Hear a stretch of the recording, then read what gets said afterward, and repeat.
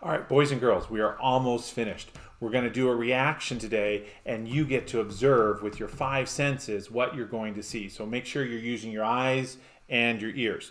Now, the reaction today is going to be with sodium. Sodium is a soft metal that needs to be stored in oil, and it reacts with water. Hot water to be exact. So I'm going to bring in some hot water right here. Now, one of the things I've learned with with reactions is if I have more surface area, it'll react faster. So I'm going to pull out a little bit of sodium and I'm going to cut it up into small pieces. So here is the sodium. Now by cutting it up, I expose more of the sodium to the water, so we should get a faster reaction. So I'll cut it into tiny little pieces.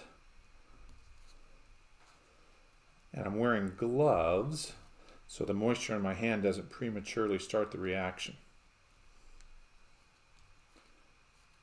All right. Okay. Switching to the little camera. Here we go. Three, two, one.